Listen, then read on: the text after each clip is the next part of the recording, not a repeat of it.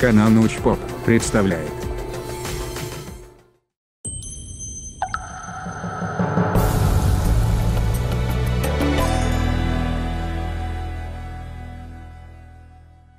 Переводчик Виталий Авакумов, редактор Юрий Цветаев. Сегодня я хочу немного поговорить о работе и работниках. Когда мы думаем о том, как работают люди, мы представляем людей как крыс в лабиринте. Деньги. Единственное, чем озабочены люди, а когда мы платим людям, мы можем приказать им работать. Над тем или иным. По этой причине мы платим банкирам бонусы и платим разными способами. На самом деле мы необыкновенно упрощаем. Взгляд на то, почему люди работают и как выглядит рынок труда. В то же время, если подумать, в мире существует множество типов странного поведения. Подумайте, например, о восхождении на вершину горы. Если вы читали книги о людях, совершающих сложные восхождения, задумывались ли вы о том, насколько они полны моментов радости и счастья? Нет, они полны страданий. В действительности, они об обморожении, о том, как трудно идти, о том, как трудно дышать. Холод, трудные обстоятельства. А если бы люди старались просто быть счастливыми? В момент достижения вершины, они бы сказали, это была ужасная ошибка, я больше этого делать не буду. Лучше развалиться где-нибудь на пляже и попивать мохито. Но вместо этого люди спускаются, и после восстановления они снова идут в горы. И если взять пример восхождения, то навевает нам многие мысли. Он подсказывает, что вас заботит то, как дойти до конца, до вершины. Он подсказывает, что вас заботит борьба. Вы думаете о трудностях. Он подсказывает, что существует большое количество вещей, которые мотивируют нас работать или вести себя таким образом. Что касается меня лично, я начал думать об этом после того, как ко мне пришел студент. Это был студент, учившийся у меня несколькими годами раньше. Однажды он вернулся в кампус и рассказал мне следующую историю. Он больше двух недель работал над одной презентацией в PowerPoint. Он работал в крупном банке. Это была презентация о слиянии и приобретении. Он серьезно трудился над этой презентацией. Графики, таблицы, информация. Он задерживался допоздна каждый день. За день до назначенного срока он отправил презентацию по PowerPoint начальнику. И тот ответил ему, Хорошая презентация, но объединение не состоится. Парень был в глубокой депрессии в момент работы. Он был по-настоящему счастлив. Каждую вечер он наслаждался своей работой. Оставался допоздна, доводя презентацию до совершенства. Но сознание того, что никто никогда не посмотрит, что он сделал, его очень расстроило. И я начал размышлять о том, как провести эксперимент. С этой идеей о результатах труда. Для начала, мы организовали маленький эксперимент, в котором мы дали людям лего и попросили их строить. Одним мы дали конструктор и сказали, «Эй, а не хотите ли построить этот бионикл? Мы заплатим вам за него 3 доллара». И они согласились и построили его из конструктора. А когда они закончили, мы взяли его, положили под стол и сказали, «Не хотите ли построить еще один за 2 доллара? 70?» Если они согласятся, мы дадим еще одного. И когда они закончили, мы спросили их, «Вы хотите построить еще один за 2 доллара? 40? Потом еще за 2 доллара? 10 и так далее?» Пока люди не отвечали. Больше не надо. Это того не стоит. Это то, что мы называем значимые условия. Люди строили один бионикл за другим. После того, как они заканчивали строить, мы клали их под стол. Мы сказали им, что в конце эксперимента мы разберем все собранные ими бионикулы, положим их обратно в коробки и используем их для следующих участников. Было другое условие. Это условие было плодом вдохновения Дэвида, моего студента. Это условие мы назвали Сизифовы условия. И если вы помните историю о Сизифе, то Сизиф был наказан богами. Он толкал камень в гору. И под самый конец камень скатывался, и он должен был начинать сначала. Мы называем это бесполезной работой. Можете себе представить, что если бы он толкал камень на разные холмы, то как минимум получил бы некое ощущение прогресса. Если вы посмотрите тюремные фильмы, иногда, таким образом, охранники мучают заключенных, заставляют их копать ямы, а когда они выкопаны, они заставляют их закапывать ямы обратно и выкапывать снова. Есть нечто в этих цикличных версиях. Повторение снова, снова и снова. Что кажется особенно демотивирующим. Второе условие эксперимента делало именно это. Мы попросили людей построить Бионикл за 3 доллара. И если они соглашались, они строили. Затем мы спрашивали их, построить еще один за 2 доллара, 70. И если они соглашались, мы давали им еще один. И пока они его строили, мы разбирали на части тот, что они только что закончили. Когда они заканчивали его, мы спрашивали, не хотите построить еще один? На этот раз на 30 центов дешевле. И если они соглашались, мы давали им тот самый, который они построили, а мы разобрали. Это бесконечный цикл. Построение и разрушение у них на глазах. Давайте сравним эти два события. Во-первых, люди построили намного больше. Они построили 11 против 7. Значимые условия против сизифовых. И, кстати говоря, мы должны отметить, что в этом не было много смысла. Люди не лечили рак и не строили мосты. Люди просто играли в ригозагорстку монет. И не только это, все знали, что их конструкторы быстро разрушат. Тут не было настоящего дела со смыслом. Но даже небольшой смысл влиял на результат. Поэтому мы провели еще одну версию этого эксперимента. В этой версии мы не ставили людей в такую ситуацию. Мы описывали им ситуацию, примерно как я описал ее вам сейчас. И просили предсказать, каков будет результат. Что случилось? Люди угадали направление, но не угадали значимость. Люди, которым только описали эксперимент, сказали, что при наличии смысла люди, пожалуй, построили бы еще один бионикл. Так что люди понимают, что смысл важен, но они не понимают, насколько важен. Степень, в которой он важен. Был еще один набор данных, который мы рассматривали. Если подумать, то есть любители Лего безразличны. И можно ожидать, что любители Лего построят больше, даже за меньшие деньги. Ведь они и так получают удовольствие. А безразличные к Лего построят меньше, потому что им и так нравится меньше. Это то, что мы на самом деле нашли в значимых условиях. Была очень четкая корреляция между любовью к Лего и количеством построенных Лего. А что случилось в сизифовых условиях? В них корреляция была нулевая.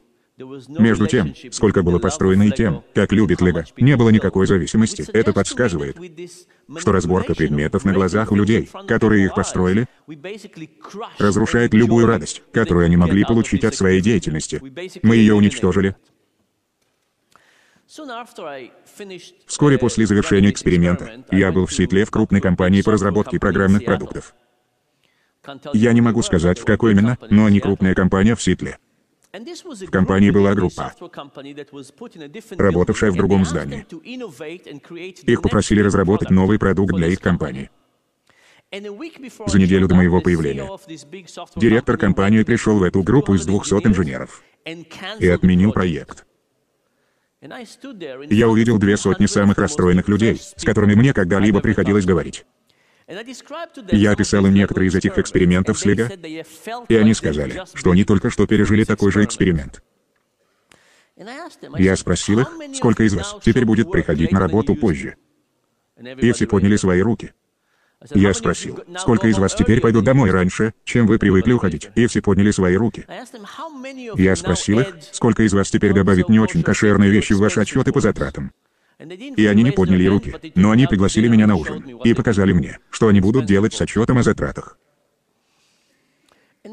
А потом я спросил их, что мог бы сделать директор, чтобы не так сильно расстраивать вас. И они выдвинули самые разные идеи. Они сказали, директор мог бы попросить их представить всей компании, их разработки за последние два года и что они решили сделать. Он мог бы попросить их подумать, какая часть их технологии могла бы подойти другим отделам организации. Он мог бы попросить их построить какой-нибудь прототип нового поколения и увидеть, как они могли бы работать. Но фишка в том, что любой из них потребует некоторых усилий и мотивации. И я подумал, что директор просто не понимает важности и смысла. Если директор, как и наши подопытные, думал, что смысл важен, то он бы позаботился, и он бы сказал им, «Тогда я попросил вас работать над тем, а теперь я прошу вас работать над этим. Все будет хорошо». Но как только вы поймете, насколько важен смысл, тогда вы поймете, что действительно важно — потратить некоторое время, энергию и усилия, чтобы мотивировать людей заботиться о собственной работе. Следующий эксперимент немного отличался от предыдущего. Мы взяли лист бумаги со случайными буквами и попросили найти идентичные пары. Такой была задача. Люди закончили первый лист. А затем мы попросили их выполнить то же самое со следующим листом за меньшие деньги. И следующий лист за еще меньшие деньги и так далее. У нас было три условия. В первом условии люди писали свое имя на листе. Находили все пары букв. Отдавали лист ведущему эксперимента. Ведущий смотрел на него. Сканировал сверху вниз. Говорил ага и складывал его в кучу рядом с ним. Во втором условии люди не подписывали лист. Экспериментатор смотрел брал лист бумаги, не вглядывался и не сканировал. И просто складывал его в кучу бумаг. Просто брал лист и клал его в сторону. В третьем условии экспериментатор забирал листы и сразу же пропускал их через шреддер. Что произошло в тех трех условиях? На этом графике я показываю вам, на каком уровне оплаты люди остановились. Низкие цифры означают, что люди работали усердно и гораздо дольше. В условиях признания люди работали вплоть до 15 центов. На 15 центов за страницу они в основном прекращали свои усилия. В условиях со шреддером это было вдвое больше — 30 центов за лист. Результат практически, как и предыдущий. Вы уничтожаете усилия людей на выходе. Вы получаете не самых счастливых от своей работы людей. Но стоит отметить, кстати говоря, что в условиях со Шреддером люди могли бы хитрить. Они могли бы работать не так хорошо, потому что они понимали, что их усилия будут сразу уничтожены. Возможно, первый лист они делали хорошо, но затем они видели, что никто их не проверяет. Поэтому они могли работать быстро и некачественно. В действительности, в условиях со Шреддером, люди могли бы заработать больше денег, с меньшими затратами. А что в условиях игнорирования? Будут ли они больше похожи на признанные, на результаты со Шреддером, или где-то посередине? Выяснилось, что они почти такие же, как и условия со Шреддером. Теперь. Хорошие новости и плохие новости. Плохие заключаются в том, что игнорировать качество работы людей почти так же плохо, как уничтожать результаты работы на глазах у людей. Игнорирование приводит к тому же результату. А хорошие новости в том, что просто посматривать на результат работы, даже одним глазом и кивать «ага», кажется достаточным для того, чтобы заметно усилить мотивацию людей. Хорошие новости в том, что мотивировать, кажется, не так уж и сложно. Плохая новость в том, что уничтожить мотивацию невероятно просто.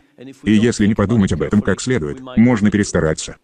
Это все в терминах негативной мотивации или устранения негативной мотивации. В следующей части я хочу показать вам кое-что о позитивной мотивации. В Соединенных Штатах есть магазин под названием IKEA. Это магазин с неплохой мебелью, на сборку которой уходит много времени. Я не знаю, как у вас, но каждая сборка занимает гораздо больше времени, требует гораздо больше усилий и каждый раз меня обескураживает. Я собираю их неправильно. Я не могу сказать, что мне нравятся детали. Я не могу сказать, что мне доставляет радость процесс. Но по завершении, мебель от IKEA мне начинает нравиться больше, чем другие. Есть одна старая история про смеси для тортов. Когда в сороковых начали делать смеси, они брали порошок, клали его в коробку, и они предлагали домохозяйкам добавить немного воды, размешать, положить в духовку, и вуаля, торт готов. Но выяснилось, что смеси не были популярны, люди не хотели их. И они перебрали самые разные причины. Возможно, вкус был нехорош. Нет, вкус был великолепен. Они выяснили то, что приготовление торта требует слишком мало усилий. Это было настолько просто, что никто не хотел готовить торт для своих гостей и говорить, а вот и мой торт. Нет, нет, нет, это был чей-то чужой торт. Он выглядел как купленный в магазине. Он не создавал ощущения приготовленного самостоятельно. Что они сделали? Изъяли яйца и молоко из порошка. Теперь нужно было бить яйца и добавлять их. Нужно было отмерять молоко. Добавлять его и смешивать его. Вот теперь это был ваш торт. Теперь все было хорошо.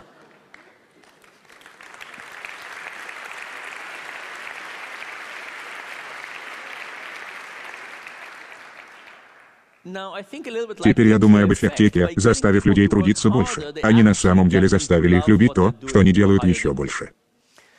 Как мы рассмотрим этот вопрос с экспериментальной точки зрения? Мы спросили людей сделать оригами. Мы дали им инструкции, как сделать оригами, и мы дали им лист бумаги.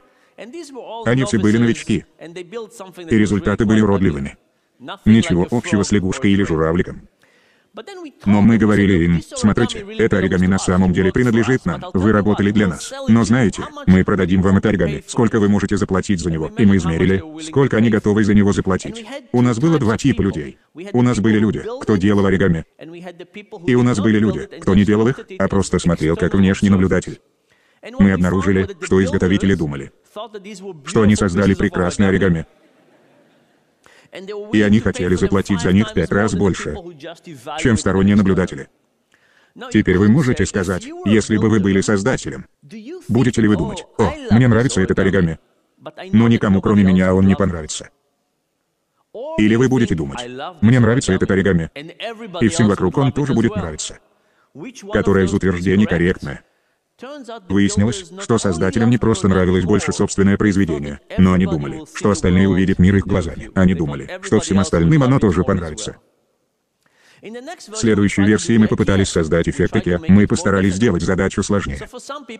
Некоторым людям мы дали те же задания, а другим мы сделали его более трудным, спрятав инструкции. Наверху листа была изображена маленькая диаграмма, как сложить оригами. А некоторым мы не дали этого. Так что в этот раз было сложнее. Что произошло? Ну, говоря объективно, оригами были еще ужаснее, чем раньше. Ведь было сложнее. Теперь, смотрев на простые оригами, мы видели то же самое. Создателям они нравились больше, наблюдателям они нравились меньше.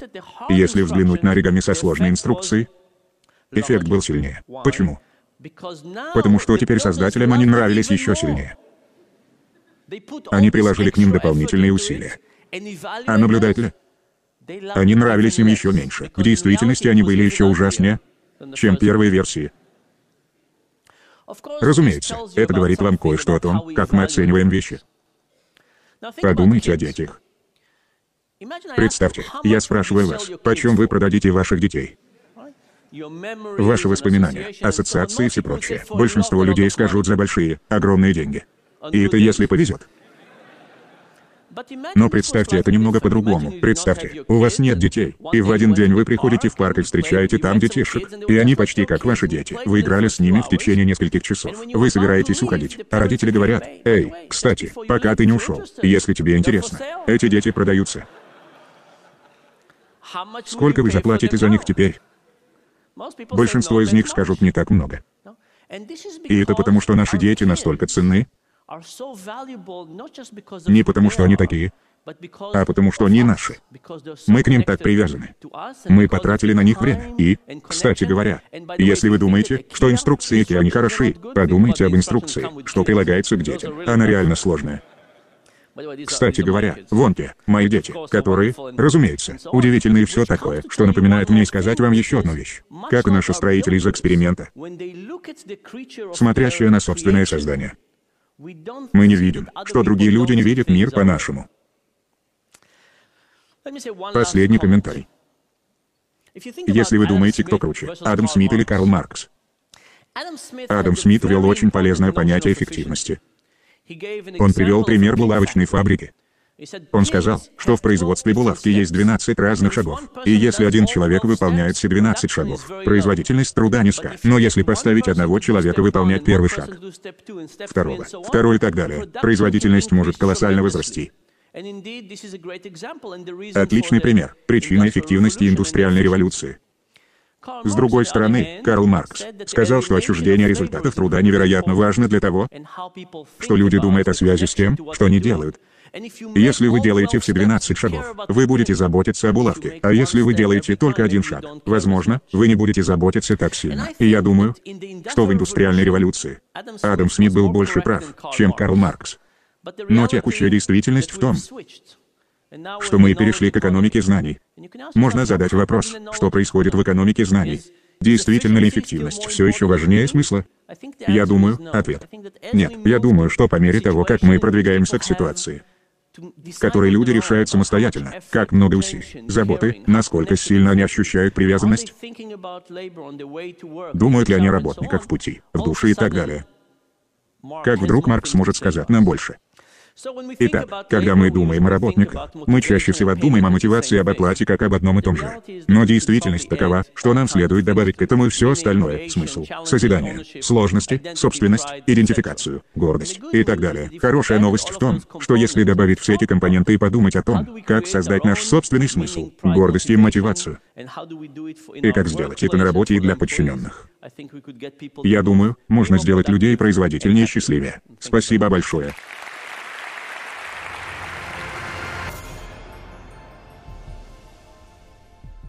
Если вам было интересно, поддержите проект подпиской, лайком или комментарием. Ссылки и больше информации в описании к ролику. Спасибо, что смотрите наш канал.